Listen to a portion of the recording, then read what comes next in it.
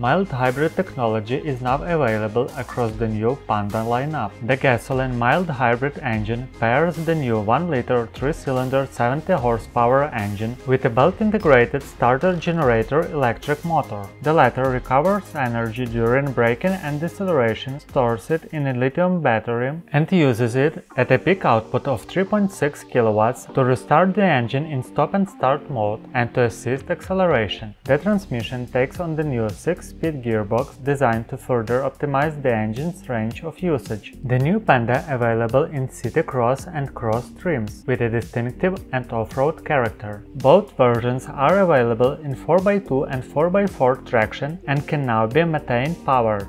The new model comes with a new ceramic blue pastel livery, a perfect combination with the new two-tone techno leather upholstery on the door panels and seats. In the center of the dashboard is the new 7 inches touchscreen optional radio and the automatic air conditioning which comes as standard. The new Panda City Cross is complemented by LED DRL headlights. It features stylish new 15 inches wheel rims, a double red tow hook below the bumper grille, chrome paintwork for skid plates, roof rack and the side shock absorber bands with the wording cross in relief in black.